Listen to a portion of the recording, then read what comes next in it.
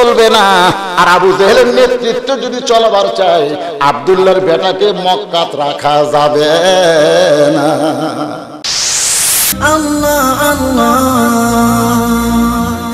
Allah, Allah, Allah.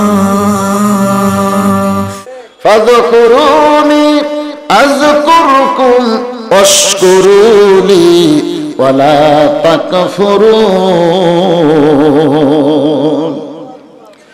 আয়াতের বাংলা অর্থটা হলো যে আল্লাহকে জিকির করে, আল্লাহ তার জিকির করেন। অস্কুরুলি তোমরা শুকুর গুজার করো আল্লাহ তাকফুরুন, তোমরা কুফুরি করিও না। এখন আসেন। আয়াতের তাফসীর আল্লাহ কি বলতেছে? হোসাইন বলতেছে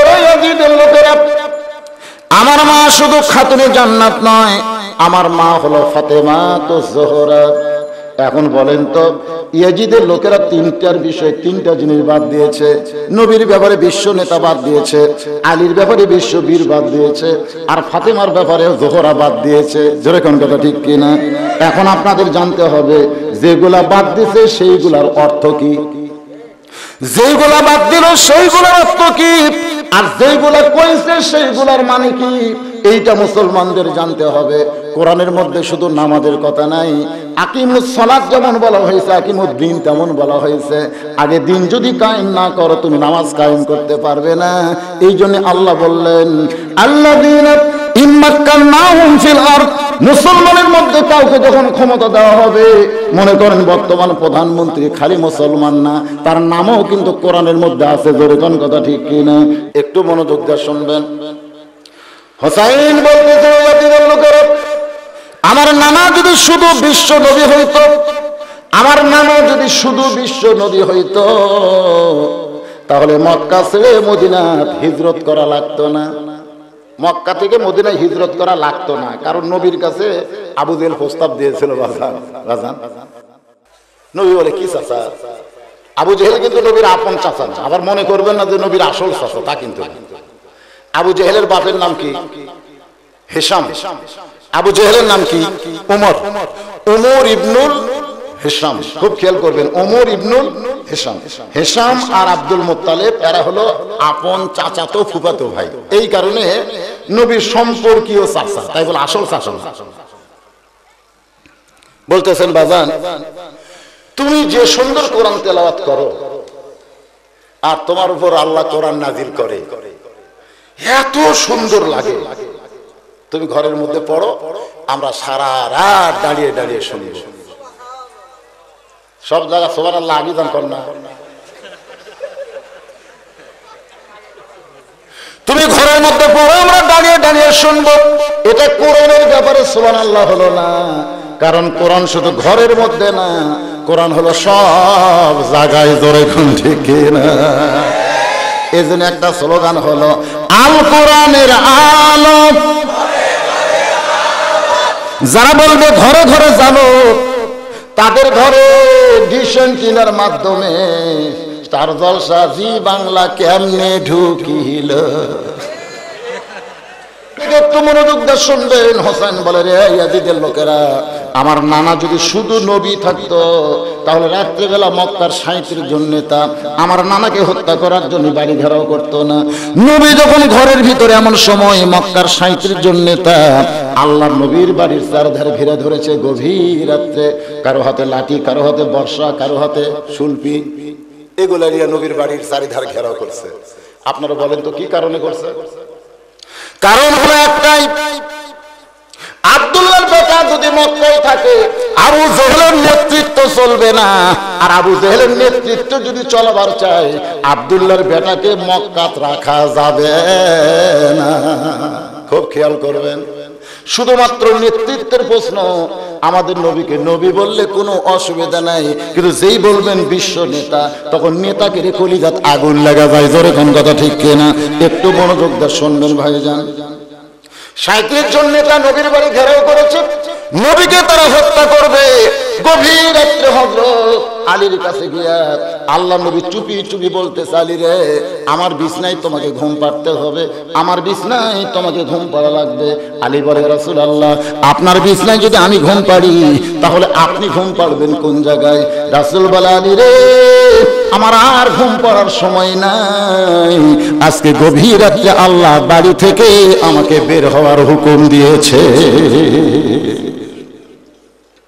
আলী বলতেছে, হুজুর, এটা কেমন কথা? আল্লাহ কি বোঝে না? আল্লাহ কি জানে না যে এতদিন আপনাকে হত্যা করার জন্য কেউ বাড়ি ঘেরাও করেনি? তখন আল্লাহ আপনাকে হিজরতের হুকুম দিল না। আজকে সবাই যখন লাঠি সোটা নেওয়া বাড়ি ঘেরাও করেছে, এই সময় আল্লাহ আপনাকে বাড়ি থেকে বের হবার বলতেছে। আমার মনে হয় আল্লাহ ইচ্ছা করে আপনার পিটন খাওয়ানোর বুদ্ধি করতেছে। আপনার বলেন তো, হয়তো আলীকে ঠিক কইছে না ভুল কইছে আরও জোরে। কার ভুল ধরতেছেন? কার ভুল ধরতেছেন?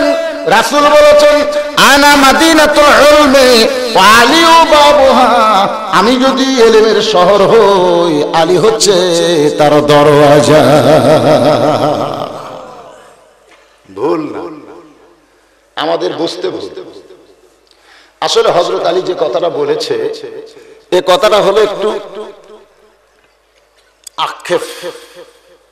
মানে লুচ্চা, একটা লুচ্চা পুলিশ গেছে বলতেছে, ওই যে দেখতেছেন না, ওটা হুজুরের বাড়ি। ওটা হুজুরের বাড়ি। লুচ্চা দেখাচ্ছে কার বাড়ি? এখন লুচ্চার কথাতে পুলিশ হুজুর ধরে হ্যান্ডকাপ লাগাচ্ছে। তখন হুজুর দেখে লুচ্চা পুলিশ ধরে না, আমার ধরলো কেন যখন দেখবেন খারাপ মানুষগুলো ভালো মানুষকে ধরার জন্য বাড়ি দেখা যায়, তখন মানুষের ভিতরে আক্ষেপে অনেক কথা বাইর হয়ে আসে। জোরে কোন কথা, ঠিক কি না? জেলখানার মধ্যে গেছে। এখন জেলের মধ্যে ঢুকে দেখেন আজান দিলে কাতার সোজা। একটা দেন আমাদের নাই। সমস্ত জেলের লোকেরা এখন নামাজ পড়ে, যারা জেলের ভিতরে আছে। কারণ আপনি খুঁজলে দেখবেন কেউ মুয়াজ্জিন, কেউ ইমাম, কেউ হাফিজ সাহেব, কেউ হুজুর। এরকম ধরে উঠতেছে। আর যে কয়টা বাট তার খারাপ চোখ ডাকাত সবগুলো বার করে দিছে। যা, তোরা বেরো থাক, এরা ভিতর থাক। আক্ষেপ বোঝেন না? আক্ষেপের কথা বলতেছে রাসূলুল্লাহ। এতদিন আপনার বাড়ি কেউ ঘেরাও করে নাই, তখন আল্লাহ আপনাকে হিজরতের হুকুম দিল না। আজকে সবাই যখন লাঠি সোটারে বাড়ি ঘেরাও করেছে, এমন সময় আল্লাহ আপনাকে হিজরতের হুকুম করতেছে। আমার মনে হয় আল্লাহ ইচ্ছা করেই আপনাকে পিটন খাওয়ার বুদ্ধি করতেছে। সঙ্গে সঙ্গে নবী হজরত আলীর কপালে সুমা দিয়ে আলী রে, তোর কষ্টের কথা আমি বুঝি আলী, কিন্তু আমাদের বলার কিছুই নাই। বললে, আল্লাহ আমাদের প্রতি বেজার হয়ে যায়। সরানা বলেন, বরং আপনার বিছনায় তুমি ঘুম পাড়ো। হজরত আলী নবীর বিছনায় ঘুমায় গেলেন। নবী আমার চুপি চুপি দরজা খুলে তাকায় দেখে সাঁত্রিশ জন নেতা লাঠি নিয়ে দাঁড়ায় আছে, চোখগুলো টর্চ লাইটের মতন জ্বলতেছে। রাসুল বলে, আল্লাহ, এতগুলো লাঠির ভিতর দিয়ে আমি কেমনে যাই? আল্লাহ বলে, হাবিবুল্লাহ, হুকুম করেছে আমি আপনাকে যাইতে হবে। তবে যদি আপনি চিন্তা করেন, করবেন না। এক মুষ্টি বালি নিয়ে, এক মুষ্টি বালি নিয়ে সুরে থেকে ওই কয়েকটা আপনি তেলাওয়াত করেন। নবী তিনটা করে বালির মধ্যে ওই বালুগুলো নেতার চোখের মধ্যে যে বালুগুলা চোখের মধ্যে ঢুকছে নেতাকে হাতে লাঠি আর আছে। লাঠি ফেলে দিয়ে। নবী কয়, আল্লাহ কি সুযোগ? ওরকে লাঠি লিয়ে ওরকে পাফাতি বাড়ান যাবি ওরা বুঝবার পারবি না। কারণ যে অবস্থা তারা চোখ ডলতিছে। তোর এখন কি ডলতিছে? আল্লাহ রাসুল বললেন, হাবিব, মারার দিন আছে। আজকে মারার দিন না। এদের মার হবে এমন জায়গা, এর একটাও ফিরবার পারবি না। আজকে আপনি একটা কোবাতে কোবাতে আর একটা দৌড় মারবি, দরকার নাই। জাগা মতো মার দেওয়া লাগবে। দরকার কি মতো? আপনি কি মনে করতেছেন? যারা আজকে মারতেছে, মারার পরিকল্পনা করতেছে, ওরকে মানে জাগা মতো, জোরে কোন কি মতো। মার হবে, কিন্তু শব্দ হবে না। এমন মার হবে, প্রেসিডেন্ট জিল্লুর রহমান যখন বুদ্ধিজীবীর গুরুস্থানে দাফন করা হয়, এমন সময় একজন ঘোষক কিন্তু মাইক নিয়ে বলতেছে, পাঁচ স্তরের নিরাপত্তা আছে। আর্মি র্যাব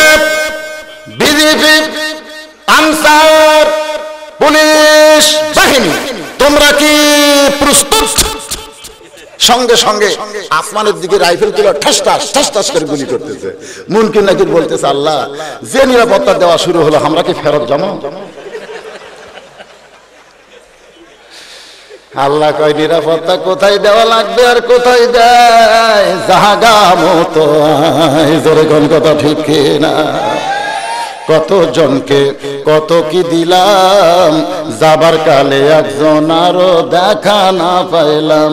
ও আমার সাদের মালা যাইরে ছিঁড়ে রইব না আর বেশি দিন তোদের মাজারে। একটু মনোযোগ কথাগুলো শুনবেন, কারও কলজার মধ্যে আঘাত লাগবে না, বরং নিজেদের অনুশোচনা হবে। বাজান, একটু মনোযোগ দিয়ে শুনবেন, আল্লাহর নবী চুপি চুপি ওই সাইটের জন্য তাকে পাড়ি দিয়া আবু বক্করের ঘরের দরজায় আস্তে করে ঠোকা মারছে, সঙ্গে সঙ্গে দরজা খুলে যায়। নবী চমকে বলে, আবু এই গভীর রাত্রে তুমি চেতন কেমনি? তুমি কি জানো? আমি আসতেছিলাম। আবু বলে, হুজুর, ওই যে একদিন বলেছিলেন, গভীর রাত্রে মক্কা থেকে মদিনায় হিজরত করা লাগবে। আমাকে আপনি সঙ্গে নেবেন। সেদিন থেকে আজ পর্যন্ত কোন রাত্রিবেলা ঘুমাইনি, বরং সব সময় দরজায় দাঁড়িয়ে থাকি। রাসুল বলে, আল্লাহ, আমাকে যেমন নেতাও বানাছেন, আল্লাহ, কর্মীও একটা দিছেন, আল্লাহ। সোহান আল্লাহ নেতাও যেমন, কর্মী কি মনে করছেন? কর্মী কেমন? নবী বলেন আসো, যাই। যে বলতে আসো যাই, সঙ্গে সঙ্গে বকর ঘরের দরজা ধাক্কা দিয়া লাগাই দিয়া নবীর পিছনে পিছনে রওনা দেয়। নবী আবু আমি চলো যাই, বললাম তুমি চল্লা শুরু করে দিলে। তোমার ঘরের মধ্যে বিয়ে বাচ্চা আছে, তাদের কাছে কি তুমি শেষ দেখাটাও করবা না? আবু বকর বা নবীজি, যেদিন থেকে ইসলাম আন্দোলনের কর্মী হয়েছি, সেদিন থেকে আমার ইমান আমাকে শিক্ষা দিয়েছে। আল্লাহ নবী যখন ডাক দিবে তখন পিছন দিকে তাকানোর কোনো সুযোগ নাই। রাসুল বললেন, চলো যাই। মক্কা থেকে মদিনা হলো উত্তর দিকে। দিকে হিজরতের কথা আল্লাহ বলেছেন, কিন্তু নবী আবু বকরকে নিয়ে রওনা দিলেন পূর্ব দিকে। পূর্ব দিকে যখন যায় আবু বকর বলে, হুজুর, আপনি মনে হয় মদিনা রাস্তা ভুলে গেছেন, মক্কা থেকে মদিনা উত্তর দিকে, আর আপনি আমাকে নিয়ে রওনা দিলেন পূর্ব দিকে। রাসুল আবু বকর ওই যে একটা পাহাড় দেখতেছো, ওই পাহাড়ের মাথায় একটা গর্ত আছে। এই গর্তের মধ্যে আমাদের আত্মগোপন করা লাগবে। আবু বকর বলে, হুজুর, আমরা গর্তের মধ্যে আত্মগোপন করব কার ভয়ে? হুজুর, আমরা গর্তের মধ্যে লুকাবো কার ভয়ে? রাসুল কারও ভয় না। ওই গর্তের মধ্যে লুকানো হলো আল্লাহর হুকুম। জোরে গান সোহান আল্লাহ জয়পুরহাট থেকে আমাকে মোবাইল করে বলে, হুজুর, আপনি কেমন আছেন? আমি বললাম আলহামদুলিল্লাহ। আমি বললাম ভাই, তোমার খবর কি? কয়, নাউজুবিল্লাহ। আমি বললাম নাউজুবিল্লাহ কেন? বলে, হুজুর, আমি মসজিদের মুয়াজ্জিন। আজান দেই, আকামত দেই, কিন্তু ইমাম নাই। আমি বলে, আজান দাও, আকামত দাও, ইমাম নাই কেন? বলে ইমামকে পুলিশ খুঁজতেছে হুজুর। ইমামকে পুলিশ খুঁজতেছে, আর পুলিশের ভয় ইমাম যে কোন জায়গায় লুকাছে আমরা ইমাম পাচ্ছি না। আমি করলাম আলহামদুলিল্লাহ। মসজিদ বলে, হুজুর, পুলিশের ভয় ইমাম লুকাইছে। আর আপনি আল্লাহর শুকুর আদায় করলেন। আমি করলাম মসজিদ ইমামকে পুলিশ কেন খুঁজতেছে? আগে তদন্ত করো, ইমামকে হিরোইন বেচা খায়। না গাঁজা বেচা খায়, না সুদের ব্যবসা করে। কোন অপরাধে পুলিশ ইমামকে খুঁজতেছে, আগে তদন্ত করো। দুই দিন পরে মসজিদ আমাকে মোবাইল করে বলে, হুজুর, ইমামের মারাত্মক দোষ আছে। আমি বললাম, দোষটা কি? বলে, হুজুর, ইমাম বিশ্বাস করে মসজিদ শুধু আল্লাহর না, গোটা বাংলাদেশ আল্লাহর। এই বিশ্বাস ইমাম করে। আপনারা বলেন তো, ইমামের বিশ্বাস কি ঠিক? ঠিক। ঠিক ঠিক। আর আমাদের বিশ্বাস এটা দেখতেছেন হুজুর, এটা হচ্ছে আমার ওই সাইড আমার চাচা, ওই সাইড আমার বাপের, এই সাইড আমার ভাইয়ের পিছন দিকে সব আমার এলাকার মধ্যে পাওয়া দেওয়ার মতন জায়গা কারও নাই। তো সবই যদি তোমাদের হয় আল্লাহ আল্লাহটা দেখবার গেলে দুই মিনিট হাঁটা লাগবে দেখছেন কথার সাইড, আল্লাহটা দেখবার গেলে কয় মিনিট হাঁটা লাগবে? চলো দেখে আসি, আল্লাহটা দেখবার দেখছে। মসজিদের সামনে যা দাঁড়ায় বলতেছে, হুজুর, এই যে দেখতেছেন মসজিদ এটা আল্লাহর হুজুর। আল্লাহর কিছুই ছিল না, আমার চাচা। এই মসজিদের নামে দশ শতক দান করছে হুজুর, আমার চাচা দান করছে। এখানে আল্লাহর কিছু আসলো না হুজুর, আমরাই দিছি। ফেরেস্তা বলে, আল্লাহ, এইটা কোন দেশ? যে দেশে তোমার দিলে তুমি পাও, না দিলে তোমার কিছুই নাই। আল্লাহ আফসোস করে বলে ফেরেস্তা ওই দেশের নাম হলো বাংলাদেশ। এই দেশের নাম কি? আয় আল্লাহর কিছু নাই রে। ওই দশ শতক আমরাই আল্লাহ দিছি। যখন ওই দশ শতকের মধ্যে আমরা যাই, তখন আওয়ামী লীগ, বিএনপি, জাতীয় পার্টি, আমরা আর ভেদাভেদ নাই। এক নামাজ পড়ি। পড়েন না পড়েন না পড়েন না। ডান পাশ আওয়ামী লীগ, বাম পাশে বিএনপি, মাঝখানে যাওয়া যুদ্ধ অপরাধী মাঝখানে, অথচ খেয়ালি নেই আওয়ামী আঙ্গুল সামনে গেছে, জামাত ইসলাম হাত ধরে টানতেছে, কাতারও তাই কাতারও তাই। উনি তখন কে টানতেছে ওই দিকে না তাকায়, নিচের দিকে তাকে বলতেছে, আমি খেয়াল করিনি ভাই, আমি খেয়াল করিনি ভাই, ও তুই খেয়াল করিস। তো টানতেছে কে সেটা খেয়াল কর। টানার দিকে খেয়াল নাই, নিচের দিকে খেয়াল করে। আল্লাহর ঘর ধরে কর সোহান আল্লাহ মসজিদ যেমন আল্লাহর, গোটা বাংলাদেশ তেমন আল্লাহর। এই বিশ্বাস যদি আজকে মুসলমানের কলিজায় থাকত, তাহলে মসজিদের মতো গোটা বাংলাদেশ সুন্দর হয়ে যেত।